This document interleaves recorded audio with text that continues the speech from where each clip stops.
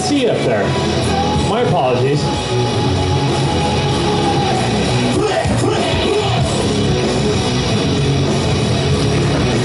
We got 30 seconds on the 191.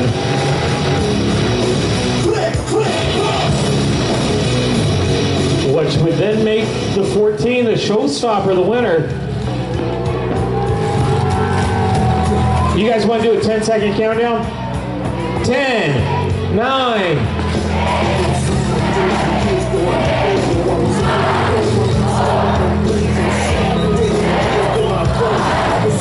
All right, there's your winner, the 14, Joey Insminger. All right, we are going to bring up